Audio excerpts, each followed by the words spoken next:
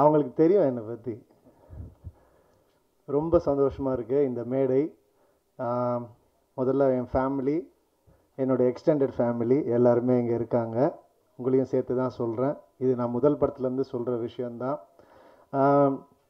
ஏன் அப்படின்னா எனக்கு நான் முன்னாடி சொல்லியிருக்கேன் தனி ஒருவன் சக்ஸஸ் மீட்டில் வந்து எனக்கு வந்து உங்கள் மேலே ஒரு ஒரு ஃப்ரெண்ட்ஷிப் இருந்தது. ஆனால் மரியாதை வந்து அது மாறினது வந்து தனி ஒருவன் மாதிரி ஒரு சின்சியராக ஒரு படம் எடுத்திருக்கோம். அதை எல்லாரும் போய் பாருங்கன்னு எழுதுனீங்க. அன்றைக்கி ஒரு மிகப்பெரிய மரியாதை ஏற்பட்டது. அதுக்கப்புறம் அடங்குமறுக்கு உங்களுடைய விமர்சனங்கள் அந்த மரியாதையை பல மடங்கு அதிகரிச்சிருக்கு. ரொம்ப நன்றி அதுக்கு உங்கள் எல்லாருக்குமே. அதுக்கு தான் இந்த ப்ரெஸ் மீட் உங்களை தேங்க் பண்ணணும் மனசார அப்படிங்கிறதுக்கு தான். அண்டு ப்ரெஸ்ஸும் சரி ஒரு கலைஞனாக இருந்தாலும் சரி எல்லாரும் முதல்ல ஒரு ஆடியன்ஸ் அதுக்கப்புறம் தான் அவங்களுடைய வேலையை பார்க்க போகிறோம் அந்த மாதிரி இது வந்து ஒரு ஆடியன்ஸுக்கு அடுத்தது என்னுடைய தேங்க்ஸ் கண்டிப்பாக ஏன்னா இந்த கதை வந்து ஒரு இது கதையாக பார்த்தாலே ஓடாத ஒரு படம். இது கதையே கிடையாது இதில் ஒரு எமோஷன் தான் இந்த ஒரு. அதுதான் உண்மை. ஏன்னா நான் சொல்லுவேன் புதுசாக என்ன கதை புதுசாக என்ன கதைன்னு யோசித்து யோசித்து அதே தான் வந்துட்டே இருக்கும். ஏன்னா ராமாயணம் மகாபாரதம்லாம் அந்த எபிக்ஸ்லாம் நம்ம படிச்சிருக்கோம். அதுக்கப்புறம் என்னத்தை பண்ண முடியும் நம்ம? ஒன்றும் பெருசாக அதுக்கு மேலலாம் யோசிக்க முடியாது. எப்படி கொடுப்போம் அப்படின்றது தான் ஒரு ப்ரெசன்டேஷன்றது தான் மேட்டர்ஸு அந்த ப்ரெசன்டேஷனை வந்து அழகாக வந்து பண்ணியிருந்தார் கார்த்திக். அதுதான் எனக்கு ரொம்ப பிடிச்சிருந்துச்சு. வந்து நம்ம ரூபன் வந்து சொன்னார் ஆறு வருஷத்துக்கு முன்னாடி இந்த கதையை சொன்னார் எனக்கு. நான் யோசித்து பார்க்குறேன்.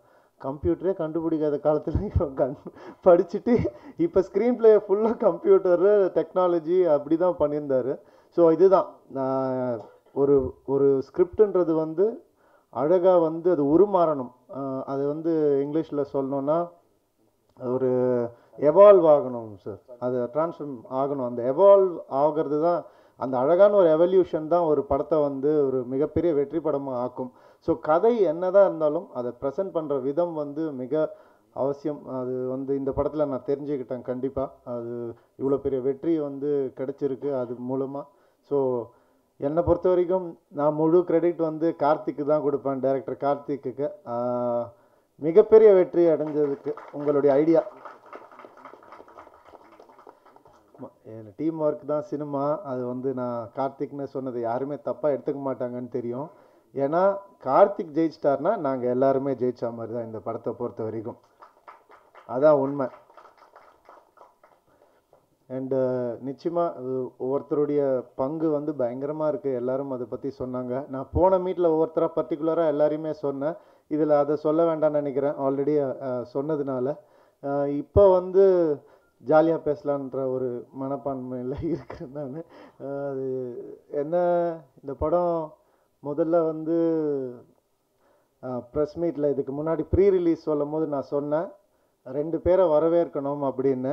கார்த்திக் புது டிரெக்டர் அண்ட் எங்களுடைய ப்ரொடியூசர் எங்கள் ஆண்டி சுஜாதா மேம் அவங்க ரெண்டு பேரையுமே வரவேற்கணும்னு சொல்லி ரொம்ப சந்தோஷமாக சொன்னேன்.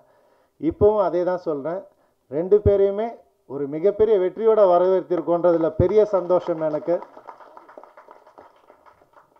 அதான் சொல்லுவேன் ஆர்த்திக்கு வந்து சொல்லுவேன் ஆக்சுவலாக வந்து இந்த ஒரு படத்தில் தான் படம் டைட்டில் அடங்குமாறு ஆனால் இந்த ஒரு படத்தில் தான் எனக்கு அடங்கினதே ஆர்த்தி. ஏன்னா என்ன பிரச்சனையாக இருந்தாலும் உங்கள் அம்மா ஷூட்டிங் போக மாட்டேன் நான். வீட்டில் எந்த பிரச்சனை ஏய் நாளைக்கு அம்மா ஷூட்டிங் போக மாட்டேன் ஓ. உடனே அவங்க கூட அம்மா நாளைக்கு ஏதோ கேன்சல் பண்ண வாய்ப்பு இருக்கு. அம்மா ஒரு சின்ன சண்டை போட்டுக்கலாமா. எல்லாம் இல்லைம்மா எல்லாமே எல்லாமே ஆர்டிஸ்ட்மா ஏன்னா இந்த படத்தில் எவ்வளோ ஆர்டிஸ்ட்னு உங்க நீங்கள் பார்த்துருப்பீங்க. சரி ஏ ஆ ஆ ஓகே ஓகே சரி ஓகே ஐ எம் சாரி அப்படிலாம் ஃபஸ்ட் டைம் லைஃப்பில் வந்து சொல்லி கேள்விப்பட்டேன் நான். ஸோ அடங்கிட்டாங்க லைட்டாக இப்போ வேறு படம் ரிலீஸ் ஆகி சக்ஸஸ் வேறு ஆயிடுச்சு. இப்போ என்ன பண்ண போகிறதுன்னு எனக்கு தெரியல. நான் கொஞ்சம் டெரரில் இருக்கிறேன். ஸோ பட் இந்த டீம் அவருடைய அழகே அதுதான். என்னதான் சக்ஸஸ் ஃபெயிலியர் எதுவாக இருந்தாலும் நாங்கள் எப்போவுமே சந்தோஷமாக இருக்கிற ஒரு ஆளுங்க எங்கள் டீம் அது வந்து ரொம்ப அழகான விஷயம். எப்போவுமே எனர்ஜியாக இருக்கிற ஒவ்வொருத்தரும் இந்த டீமில் சேர்ந்துருக்கோம். அந்த ஒரு எனர்ஜி தான் எனக்கு ரொம்ப ரொம்ப பிடிச்ச ஒரு எனர்ஜி அது சக்ஸஸோ ஃபெயிலியரோ எப்போவுமே பாதிக்காது. பர்டிகுலராக Karthik captain of the ship இப்போ பேசினார்ல ஆ, இப்படி ஆ, இவர் இப்படி சொ அப்படி தான் கதை சொல்லும் போது ஆ, இப்படி வரும் சீஃப் ஒரு நாலு பேர் சீஃப் அவங்க அப்பாங்கெல்லாம் கெட்டவங்க சீஃப் அவங்க கொண்டுடுவாங்க சீஃப் அவர் ரிவெஞ்ச் எடுக்கிறாங்க சீஃப் எப்படி எப்படி கதை எப்படி? ஆ, கதை நல்லா இருக்கு கார்த்தி நான் நிறைய தடவை கேட்ட கதை தான் இது. இது நீ என்ன பண்ணியிருக்க கார்த்தி இதான் பண்ணியிருக்கேன் சீஃப் இதான் இதான் எனக்கு புரியுது. இந்த ஸ்க்ரீன் பிளேலாம் ஸ்க்ரீன் பிளே ஆச்சு ஆ இப்போ கேளுங்கன்னு சொல்லி அதில் வர ஒவ்வொரு நுணுக்கமான விஷயங்கள்லாம் சொன்னார். அப்போ எனக்கு பயங்கரமாக அது வந்து கிளிக் ஆச்சு. இது நல்லா இருக்குது இது நல்லாயிருக்கு இது நல்லா இருக்குன்னு. ஸோ நான் வந்து இந்த படத்தில் கதையை நம்பினதோட கார்த்திக் நம்பினேன். ஏன் அப்படி சொல்கிறேன்னா ஜாலியாக பேச முடிவு பண்ணிட்டோம். யாரும் சீரியஸ் எடுத்துக்காதீங்க. ஆதிபகவன் படத்தில் வந்து அசோசியேட் டைரக்டராக வந்து இருந்தார். அதுவும் கடைசி ஷெட்யூலில் அசோசியேட் டைரக்டராக வந்தார் கார்த்திக். அப்போ தான் வந்து என்னென்னா நாங்கள் வந்து ஆதிபவன் படம் வந்து ஒரு மூணு பொங்கல் மூணு தீபாவளி மூணு நியூ இயர்லாம் பார்த்து முடிச்சு டயர்டாக போயிட்டுருக்கு. ஷூட்டிங் எப்போ முடியும்னு தெரியல. அப்படி போயிட்டுருக்குது. அப்போ கார்த்தி வந்தேன் அப்போ நான் நினச்சேன் வந்துட்டாரியா இவர் அசோசியேட் டைரக்டர் இவர் வந்து முடிச்சு வச்சுருவார் படத்தை அப்படின்னு நினச்சிட்டு இருந்தேன் நான். ஆக்சுவலாக பார்த்தா இவன் வந்து ஒரு ஒன்றரை மாதத்தில் படம் முடிஞ்சிருச்சு. அப்போ தான் நான் நினச்சேன் இந்த மாதிரி ஒரு ஆள் கூட என்னைக்காவது நம்ம ஒர்க் பண்ணணும்ப்பா அப்படின்னு நினச்சேன் அது இப்போ வந்து நிறைவேறி இருக்குது ஸோ அந்த மாதிரி டேலண்ட் எல்லாரையும் ஜாலியாக பேசி இப்படி பண்ணி அப்படி பண்ணி ஏதாவது ஒன்று பண்ணி மயக்கிடுவார் அவர். அதான் அந்த பிளாக் மேஜிக்கா நித்யா? அதான் அது அந்த மேஜிக் ஏதோ ஒன்று பண்ணி எப்படியாவது அட்ராக்ட் பண்ணிடுவார். சாம் சாம் நீங்கள் வந்து அந்த அடி வாங்கின விஷயம் என்னால் மறக்கவே முடியாது சாம் ஏன்னா நீங்கள் அடி வாங்கினது நம்ம நிறைய வாங்கியிருப்போம் சின்ன வயசில். அது வேற. ஒரு மனுஷன் இவ்வளோ பெரிய மியூசிக் டைரக்டர் சக்ஸஸ் இவ்வளோ கொடுத்துருக்காரு. அடி வாங்கிட்டு எனக்கு அடிச்சிட்டாங்கன்னு சொன்னது வந்து வருத்தமாக சொல்ல. என்னை அடிச்சிட்டாங்க? அதாவது அந்த சக்ஸஸ் அந்த கூட்டம் எல்லாம் அப்படி பரபரப்பாக இருக்குது படம் ஹிட் ஆன ஒரு சந்தோஷம். என்னை அடிச்சிட்டாங்க அப்படின்னாரு. சரி வாங்க வாங்க தேய்ச்சி விட்றேன் அப்படின்னு சொல்லி.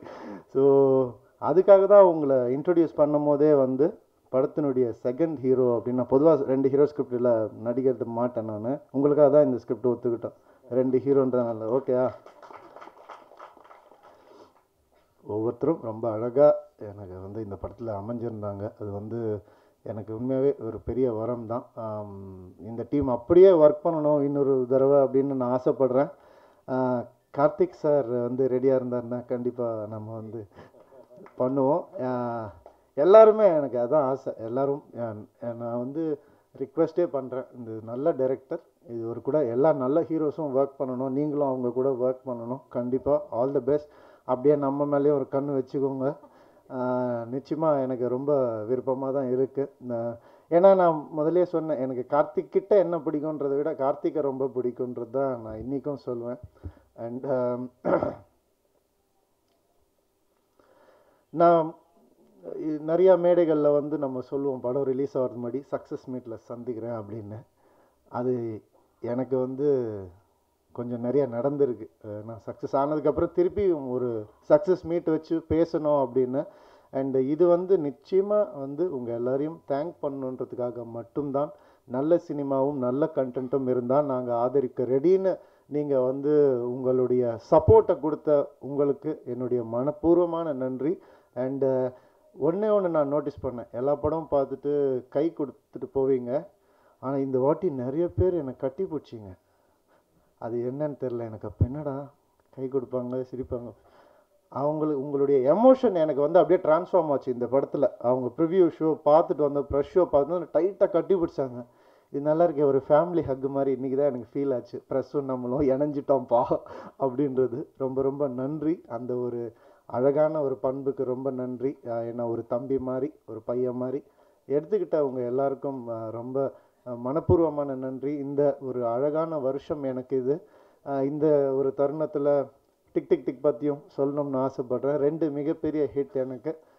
ஒரு டூ தௌசண்ட் ஃபிஃப்டீன் இயர் எனக்கு அப்படி தான் இருந்துச்சு. அதுக்கப்புறம் ஒரு இயர் எனக்கு கொடுத்த எங்களுடைய மதுரையில் ஆண்டிக்கும் கார்த்திக்கும் அண்டு எங்கள் எங்கள் ஹோல் ஃபேமிலிக்கும் ரொம்ப ரொம்ப ரொம்ப நன்றி. யாரையா விட்டுருந்தா மன்னிச்சுக்கோங்க.